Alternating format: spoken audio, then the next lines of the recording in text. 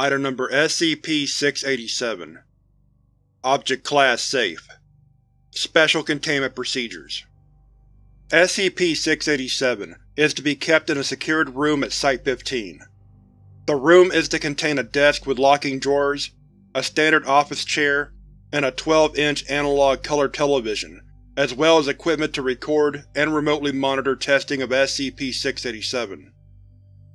When not being actively tested, SCP-687-1 is to be powered down and disconnected from its power source, and SCP-687-3 is to be kept in an anti-static envelope and locked in the top drawer of the desk supporting SCP-687-1 and SCP-687-2.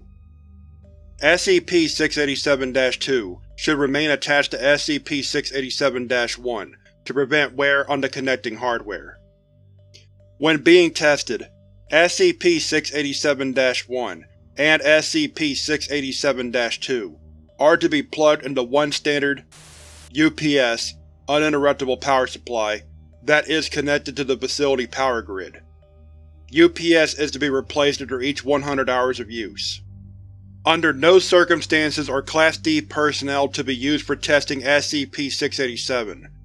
Reference Incident I-687-1 Testing is permitted by personnel with Clearance 3 or above, with written approval by the Site Director. Description: SCP-687-1 is a Commodore 64 home computer built in 1980, serial number S000. Non-invasive examination of the hardware confirms that it has not been obviously modified, and all parts appear to be from the original manufacturer.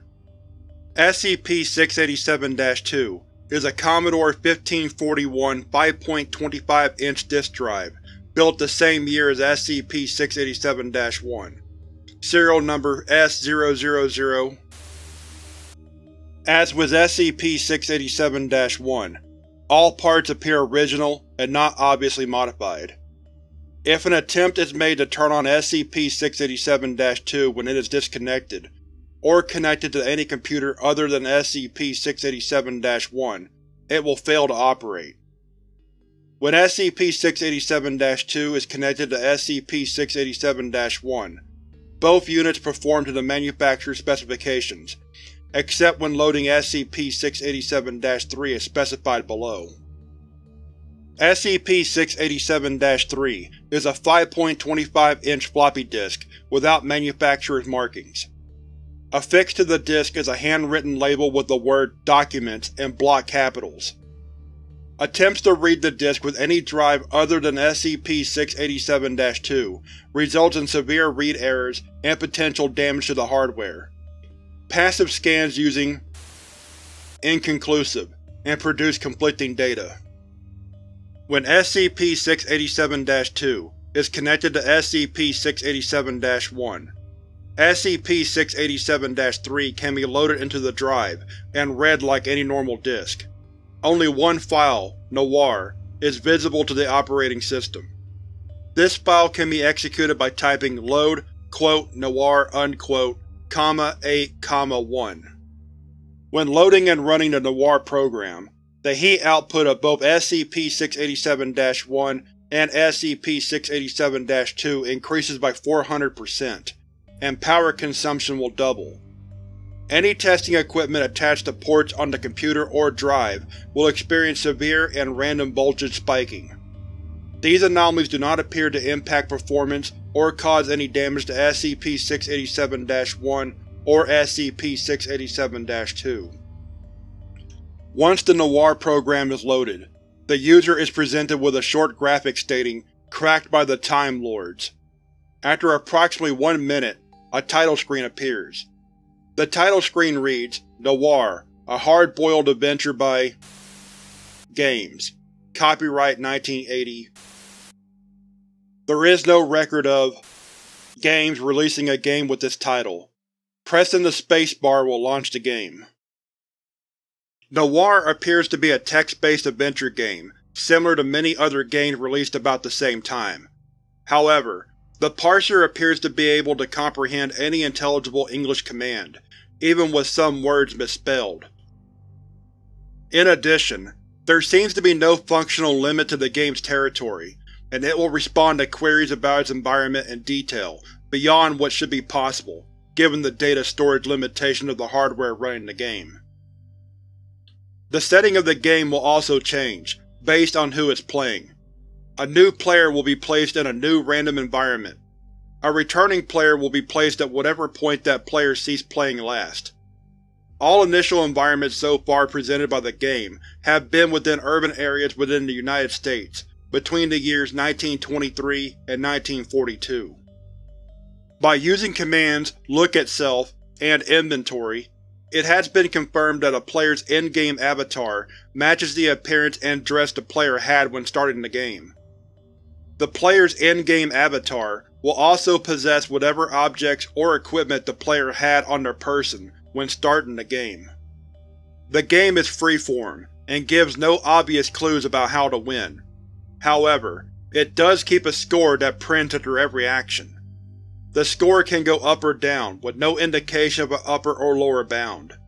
High and low scores to date are and negative. If a player dies in-game, the score is set at zero, and any future command typed in by that player during any future game session will receive the response, You cannot do that. You are dead. No abnormal effects are detectable on a player during gameplay. However, after a game session, the next time the player enters a REM sleep state, they will have an unnaturally vivid dream where they experience the events that occurred during the game. During the dream, the player's perceptions are indistinguishable from reality. Extreme cases will show physical manifestations of injuries suffered within the dream. Examples include one subject who presented with bleeding of the fingernails after dreaming of unsuccessful attempts to escape the trunk of a car driven into the river. Another subject who developed severe bruising of the face and strain of the anterior longitudinal ligament after dreaming of being beaten by a hostile police officer. And another subject who presented with partial paralysis after dreaming being a victim of a 1929 gangland execution in a Chicago garage. Typically, such injuries are transient, even in cases where the dreams end in fatality. However, severe psychological after-effects are likely, and will tend to be more severe than if the dream trauma had actually happened during a waking state. This is in large part due to the lack of volition subjects experience in the dream, and the foreknowledge of what is about to happen to them. All subjects report a complete belief in the reality of the dream world, even knowing they are replaying events from the game. If a subject has died violently in the game, the subsequent dream of the event can be traumatic enough that this belief can foster a delusion that the real world is unreal. Victims of this delusion report being convinced that they are still dreaming, or are in purgatory. Both physiological and psychological reactions are not clinically abnormal for the stresses subjects report experiencing within these dreams. Given the experimental evidence of in-game actions having actual historical impact, reference Experiment Log 687-A, it is theorized that the dreaming state is a side effect caused by the player's perceptions of game-directed activity catching up to the present day. Addendum 1 Experiment Log for SCP-687 Experiment Log 687-A Test 005 Date. 19 Subject. D. Procedure Subject is provided an unloaded 45 caliber automatic handgun, then is told to play the game and issue the command Inventory, followed by the command Drop Gun. Results Subject's game avatar has an unloaded 45 caliber automatic handgun in inventory of same make and model provided to subject. The command Drop Gun results in the gun being left in a dumpster next to subject's avatar. At this point, the subject is ordered to exit the game. Physical gun is still in subject's possession, and surrendered back to Foundation personnel. Test 006 Date 19 Subject D Procedure Immediately after Test 005, Subject is provided a box of 45 caliber ammunition, then is told to resume the game. Results: Subject's game avatar appears in same place gameplay stopped during prior test. Subject types Pickup Gun, followed by the inventory command. The subject's avatar now has both gun and ammunition in inventory. Subject's score increases by 10 points after gun is loaded. Physical gun is still in possession of Foundation personnel. Test 007 Date 19 Subject D Procedure Subject with in-game possession of a loaded firearm is instructed to type command Shoot Self. Results: Subject's game avatar shoots itself. Score is reset to zero. All commands entered after this receive the response, You cannot do that, you are dead. Subject expresses disappointment, but suffers no immediate effect. The following morning, subject evidences considerable distress showing uncontrolled tremors and weeping. When asked about cause of the stress, subject responds, I couldn't stop myself. Test 015 Date. 19 Subject. D.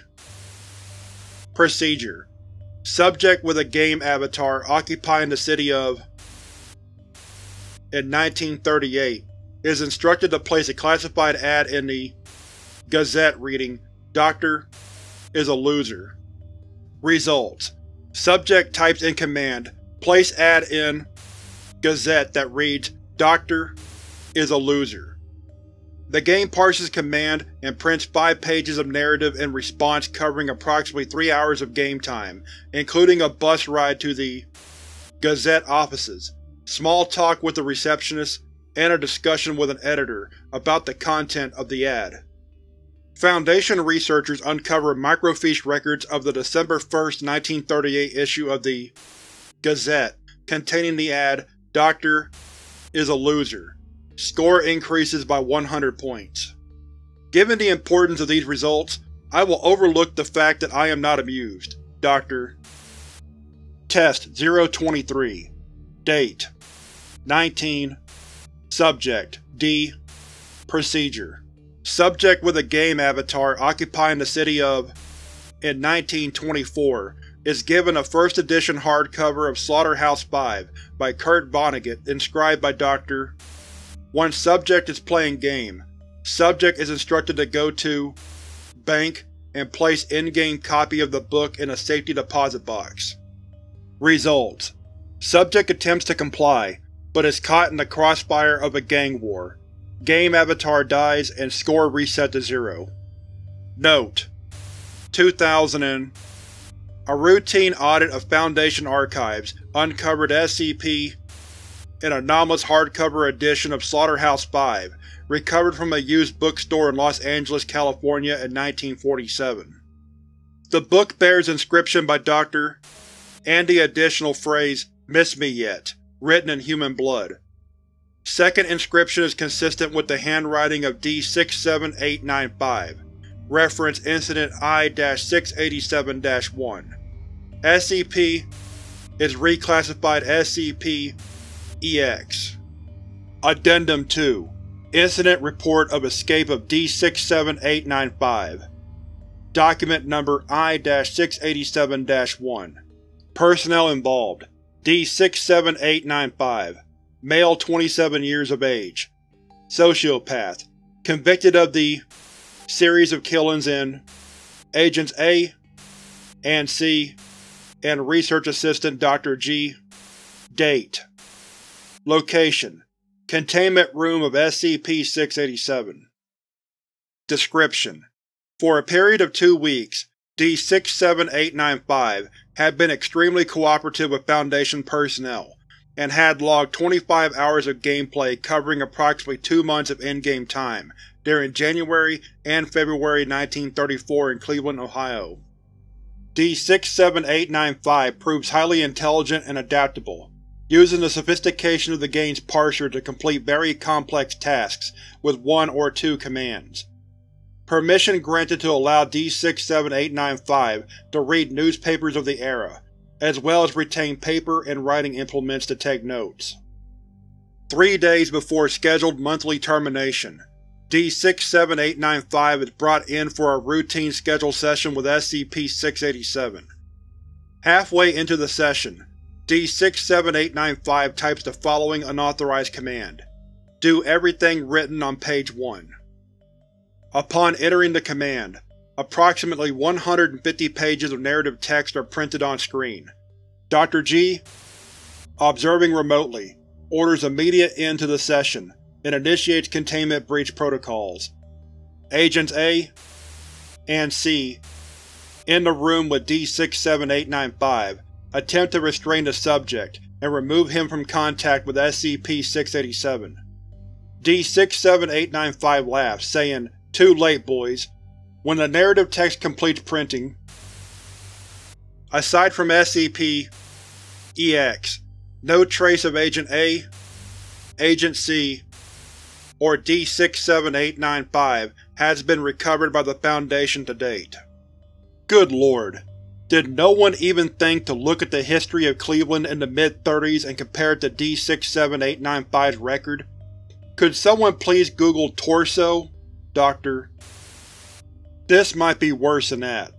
If SCP-687 does rewrite history, it's quite possible that the Torso murders, or, for that matter, might not have even existed before the security breach.